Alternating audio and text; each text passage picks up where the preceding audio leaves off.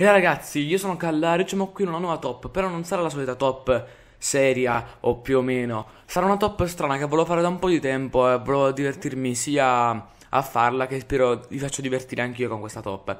Vabbè, detto questo direi di iniziare. Alla quinta posizione abbiamo Scrafty. Lui è il Pokémon furfante e quindi non poteva non far parte di questa top. E si merita di diritto di entrare appunto nella top dei Pokémon più pischelletti. Alla quarta posizione abbiamo Crocodile. Anche il Pokémon Minaccia non poteva non far parte di questa top.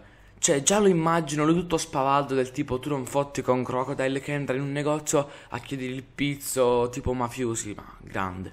Alla terza posizione abbiamo Dark Ray. Ovviamente il leggendario simbolo della notte è un pischelletto Dark confermato, anche per la sua felicità base alla cattura di ben 0, che quindi lo rende ancora più dark. La seconda posizione abbiamo Vanilux. Vi starete chiedendo come mai Vanilux possa essere un membro della Dark Polo Gang. Beh, pensateci, hanno fatto pure una canzone sopra. Cioè, immaginatelo già mentre canta. Prendo sempre tre busti, fumo un cono gelato. Ho, ho tre collane al collo, sembro un cono gelato. La tua ragazza si scioglie come un cono gelato. Alla prima posizione abbiamo il numero 777 del Pokédex. Ed è appunto il numero 767 del Pokédex ad aggiudicarsi la prima posizione. Ma adesso scopriamo chi è questo numero 777. Beh, si tratta di Togedemaru. Sì, proprio lui. A vederlo non sembrerebbe, ma dentro di sé nasconde un cuore dark. Basta vederlo in questa foto.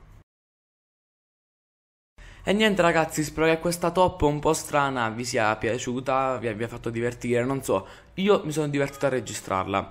Voi fatemelo sapere con un commento qua sotto.